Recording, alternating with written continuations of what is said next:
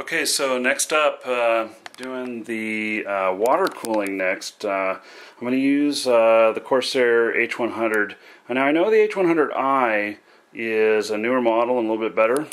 I happen to have this one brand new still and uh, try it out. If I have some problems with it then I'll replace it with the newer model but uh, this is for a 2011 socket which is what this motherboard is and the CPU and I have a nice spot up in here for uh, putting putting this in. It'll actually fit up inside the case in the assembly.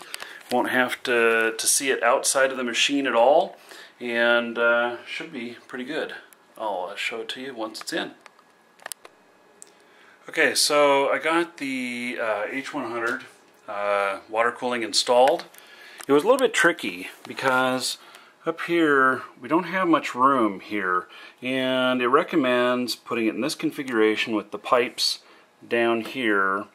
And the uh, but the problem is when I put the fans up here to push airflow out they wouldn't fit. There's not enough room in here in between uh, between everything. I wouldn't be able to plug stuff in.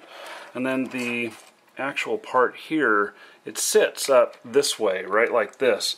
And you know, I tried a bunch of different configurations and I couldn't get the cords or the, the hoses to, to really uh, move well. So anyway, I screwed it in up here with these um, these fans. These are the fans that came with it. And the debate that I had was, should I push or should I pull? And what I finally decided was, is that I'm pushing air in, from the top. Um, there's a there's a whole screen that goes up here. That's a whole airflow uh, thing. Plus, it has some airflow in the back here, but it has uh, an actual screen up here. And then this uh, fan right here actually pulls air out, and so this will be in, this will be out. It should make for a pretty good airflow of the heat. Uh, and then I also have uh, two more fans, which one will be in the the power supply here and I believe that the power supply by default is going to push air in. And then I have this other monster fan, which is up here in the front, and it's it's a real big one. Um, and I'll probably set that up and make sure that it is pushing air out, so that um, so that I don't have a uh, I need a suction on the air going out to make sure that I don't have a whole lot of dust buildup inside the machine.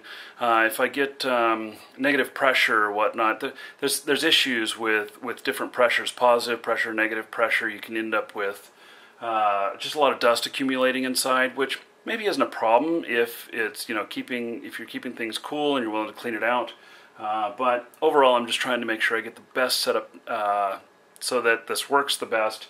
And this was really the only solution that I could come up with because I couldn't get the clearances I needed in there to, uh, to mount it the way that was suggested. So I'll end up trying this.